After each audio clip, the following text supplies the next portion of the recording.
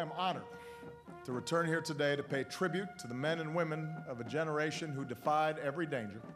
Planes rumbled down runways, gliders and paratroopers slipped through the sky.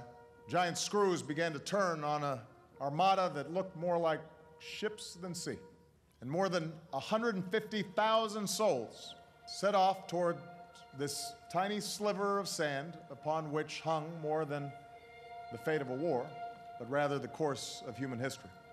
We tell this story to bear what witness we can to what happened when the boys from America reached Omaha Beach. But it was here, on these shores, that the tide was turned in that common struggle for freedom.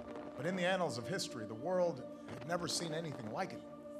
But America's claim, our commitment to liberty, our claim to equality, our claim to freedom, and to the inherent dignity of every human being, that claim is written in the blood on these beaches, and it will endure for eternity.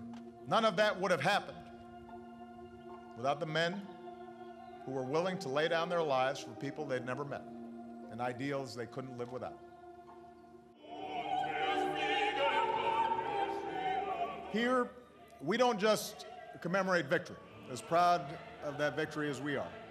We don't just honor sacrifice, as grateful as the world is. We come to remember why America and our allies gave so much for the survival of liberty at this moment of maximum peril.